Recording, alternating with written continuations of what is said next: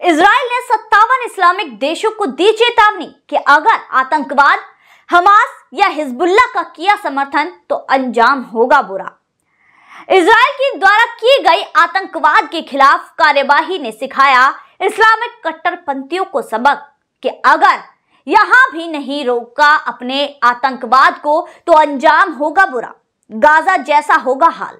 जी हाँ नमस्कार, think tank पर आप सभी का बहुत बहुत स्वागत है। दोस्तों, जिस तरह से इसराइल के द्वारा आतंकवाद के खिलाफ लड़ाई लड़ी गई है, जिस तरह से गाजा पर अटैक किया गया है और हमास के आतंकवादियों को साफ़ किया जा रहा है, उनका सफाया किया जा रहा है और उसके बाद हिजबुल्ला पर भी कार्यवाही की तैयारी चल रही है, जिसमें यह कहना होगा कि इसराइल ने एक तरह से कसम खा ली है कि आतंकवाद का सफाया करके रहेगा, जिससे कट्टरपंथियों के को सबक मिल गया है। जी हाँ जिसकी वजह से सत्तावन इस्लामिक देश बौखला रहे हैं। जिसकी वजह से सत्तावन इस्लामिक देश आनंद फानन में ओआईसी की बैठक भी बुला रहे हैं। ये एक ऐसी ऑर्गेनाइजेशन है जो सत्तावन इस्लामिक देशों ने अपने धर्म के आधार पर बनाई गई है, जिसमें ये लोग जब भी इस तरह की कोई चीज़ होती है, उसके बाद मीटिंग करके इसका समाधान खोजते हैं। अब फ़िलहाल ये लोग लगातार आनंद फानंग में मीटिंग पर मीटिंग कर रहे हैं, जिसके बाद ये सत्तावन इस्लामिक देश एक दूसरे के साथ जुड़ रहे हैं और इसराइल को सीधे तौर पर चेतावनी दे रहे हैं। लेकिन इसराइल भी इनकी गीदड़ धमकियों से नहीं डरा। आँखों में आँख डालकर इसराइल ने कहा कि अगर आतंकवाद का समर्थन किया, अगर आतंकवाद का समर्थन किया तो आप लोगों का भी अंजाम बुरा होगा। जिसमें इसराइल ने तुर्की के लिए एडवाइजरी जारी कर दी है कि अगर तुर्की में कोई भी इसराइली नागरिक है तो वापस अपने देश लौट आए।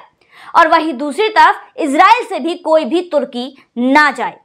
जी हाँ दोस्तों, वैसे तो कहने के लिए ये सत्तावन इस्लामिक देश लगातार मुसलमानों के समर्थन में आ रहे हैं, हमास के समर्थन में आ रहे हैं। लेकिन जब गाजा की पब्लिक की बात आई, गाजा के आम नागरिक की बात आई तो क्यों इजिप्ट ने अपने बॉर्डर के दरवाजे नहीं खोले?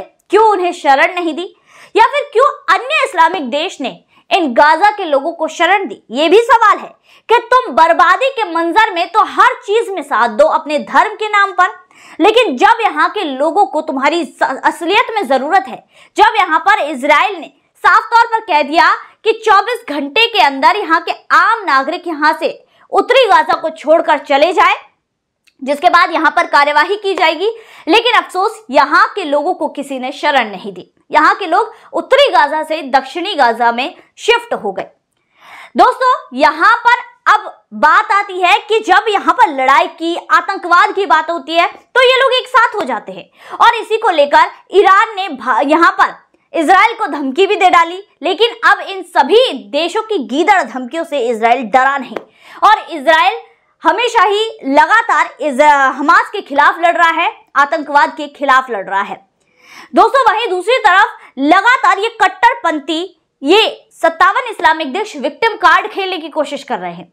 दरअसल ये लोगों की स्ट्रेटेजी है कि भाई, पहले तो तुम हमला कर दो, उसके बाद जब वहाँ से भी हमला हो, यानी कि जवाबी कार्यवाही हो तो तुम विक्टिम कार्ड खेल जाओ। अपनी मीडिया को एक्टिव कर दो कि देखिए हमारे ऊपर तो अत्याचार हो रहा है।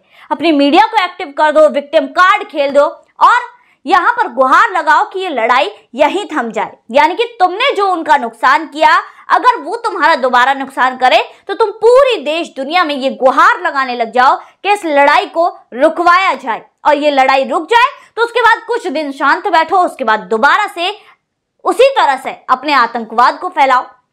यही तो इनकी स्ट्रेटेजी है। हाल ही में जिस तरह से गाजा के एक अस्पताल पर हमला हुआ, मिसाइल छोड़ी गई, जिसके बाद लगातार इसराइल पर आरोप लगाए गए, लेकिन इसराइल ने इन सारे आरोपों को रद्द कर दिया और अपने एक्स पर बकायदा एक वीडियो क्लिप शेयर की कि ये जो हमला है अपने गाजा में, जिस तरह अस्पताल पर मिसाइल गिराई गई है, वो हमास के द्वारा गिराई गई है। क्योंकि ये मिसाइल गाजा से ही लॉन्च हुई और गाजा में ही जाकर गिर गई। बाकायदा एक वीडियो क्लिप क्योंकि ये मिसफायर हो गई थी। वीडियो क्लिप दिखाई गई। और यही तरीका है इन लोगों की विक्टिम कार्ड खेलने का कि अगर आम लोगों की 400-500 आम लोगों की इस तरह से मौत होती है तो हो जाने दो। यहाँ हम विक्टिम कार्ड खेलेंगे और इस हमले को रुकवा देंगे और हमारे आतंकवाद का कोई भी सफाया नहीं कर पाएगा कि यहाँ पर आम नागरिक मर रहे हैं। अब ये कार्यवाही रोक दो। यही तो इन लोगों की प्लानिंग है।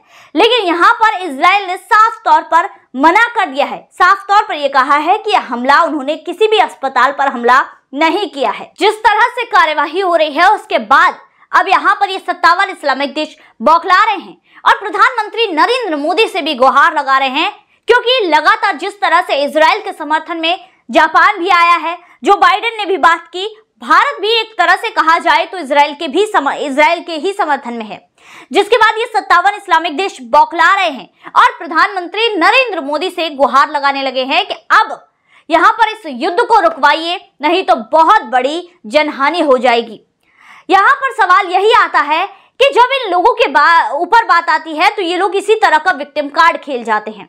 दरअसल पाकिस्तान पर जब आतंकवादी हमले होते हैं तो यहाँ पर भी यही चीज़ आती है कि निर्दोष लोगों की जानें ली जा रही हैं। वहीं दूसरी तरफ़, भारत में भी इसी तरह की चीज़ें कही जाती है। अब देखिए, यहाँ पर एक चीज़ आती है कि इसराइल मजबूती से लोगों के साथ सामना कैसे कर रहा है। क्योंकि इसराइल एक छोटा सा देश, जिसकी आबादी लगभग एक करोड़ है। वही दूसरी तरफ़, सत्तावन इस्लामिक देशों की आबादी लगभग 200 करोड़ है। तो लगा लगाइए 200 करोड़ और कहा एक करोड़, लेकिन फिर भी इसराइल मजबूती से खड़ा है। वो क्यों खड़ा है? क्योंकि इसराइल में जो भी यहूदी रहते हैं, वो सोचते हैं, उन्हें ये पता है कि ये यहूदियों का देश है। यहाँ पर हम किसी और को घुसने नहीं देंगे। यहाँ पर किसी और की नहीं चलने देंगे। ये यहूदियों का देश है। और उसी का परिणाम है कि आज दुनिया भर के यहूदी इसराइल के समर्थन में खड़े हैं। और सिर्फ़ कहने में ही समर्थन में नहीं खड़े, बल्कि बढ़ चढ़कर लड़ाई में भी हिस्सा ले रहे हैं। जाकर इसी का परिणाम है कि आज साढ़े तीन लाख, लगभग साढ़े तीन लाख सैनिक इसराइल के बॉर्डर पर खड़े हैं। वहीं दूसरी तरफ़, ये जो दूसरे देश है, जिस तरह से सेकुलरिज्म ये लोग क्या करते हैं? ये इस्लामिक कट्टरपंथी वाले लोग विक्टिम कार्ड खेलते खेलते एक और चीज़ खेलते हैं सेकुलरिज्म जिस तरह भारत में सेकुलरिज्म है, भारत का बंटवारा हुआ, धर्म के आधार पर हुआ, लेकिन फिर भी भारत को बनाया गया कि ये सेकुलर देश है। यहाँ पर सभी के लिए जगह है, क्योंकि उस समय पर जो हमारे देश के जो हमारे नेता थे, जो हमारी देश की सरकार थी, वो कुछ इसी तरह की थी क्योंकि उन्होंने हमेशा ही तुष्टिकरण की राजनीति की और जिसके तहत भारत को गर्त तक पहुँचा दिया था लगभग। और सेकुलरिज्म के नाम पर भारत को हमेशा ही तोड़ते रहे। जिस तरह से बांग्लादेश घुसपैठिए भारत में घुसते रहे, जिस तरह से म्यांमार की भी कहे, वहाँ से भी घुसपैठिए आते रहे, वही दूसरी तरफ़ पाकिस्तान से भी लगातार हमारे भारत में जिस तरह से घुसपैठिए आते रहे तो ये सारी चीज़ जिस तरह से भारत का बंटवारा धर्म के नाम पर कर दिया, लेकिन वो तो इस्लामिक देश हो गया। लेकिन भारत को बनाया गया सेकुलर देश सेकुलर देश। वही दूसरी तरफ़ अमेरिका भी इसी का भुगत भोगी है। इस तरह कई यूरोपीय देश भी ऐसे हैं जो सेकुलरिज्म के नाम पर इस तरह की चीज़ें करते हैं। ये लोग भारत में क्या करते हैं? भारत में ये, भारत में और अन्य देशों में भी अल्पसंख्यक है। अल्पसंख्यक के अल्पसंख्यक का टैग तो लिए हुए है, लेकिन फिर भी बहुसंख्यक के खिलाफ खड़े हो जाते हैं। क्यों हो जाते हैं? क्योंकि लोकतंत्र, ये लोग यही आवाज़ देते हैं कि देश में लोकतंत्र है और हम तो लोकतंत्र के हिसाब से चलेंगे। लोकतंत्र में हमें सभी अधिकार दिए गए हैं। तो इस तरह से ये लोग ऐसा कार्ड खेल जाते हैं जिससे सेकुलरिज्म के नाम पर चाह कर भी यहाँ पर इनसे कुछ कहा नहीं जा सकता। और इसी के साथ ये लोग ये भी कहते हैं कि यहाँ पर लोकतंत्र है, हमारे पास ताकत है लोकतंत्र की, हम सत्ता बदल सकते हैं। जिसके दम पर ये बहुसंख्यक हो ये अल्पसंख्यक होते भी, हुए भी बहुसंख्यकों को धमकाने का भी काम कर देते हैं। वही दूसरी तरफ़, जिस देश में जो देश सनातन संस्कृति हमेशा से ही यहाँ पर रही, जो हिंदू हैं, यहाँ पर हिंदू की संस्कृति रही है, आज उन्हें भी ये लोग लगातार दबाने की कोशिश कर रहे हैं, उनको बांटने की कोशिश कर रहे हैं। जिसके चलते अब यहाँ पर कुछ लोग ऐसे भी खुद अपने ही देश में, यानी कि भारत में भी कुछ ऐसे लोग हैं, ऐसे पत्रकार हैं, जिनको लगता है कि हमास के हिजबुल्ला के पैसे से ही चल रहे हैं। रवीश कुमार जैसे लोग। ये लगातार ऐसा लगता है कि आतंकवाद का समर्थन करना, वहीं दूसरी तरफ़ जो ऐसे लोग हैं, कट्टरपंथी हैं, इनका समर्थन करना ही इनका काम बन गया है। इनसे जैसे यहाँ पर इनकी जो रोजी रोटी है, इन्हीं लोगों से चल रही है और इनके खिलाफ ये कुछ बोल नहीं सकते। इसी तरह की ये मानसिकता रखते हैं और अपने ही देश में जिस थाली में खा रहे हैं, उसी में एक तरह से कहा जाए तो छेद कर रहे हैं। तो दोस्तों, आज की वीडियो में बस इतना ही। फिर मुलाकात होगी ऐसी वीडियो के साथ। तब तक के लिए देखते रहिए। Think time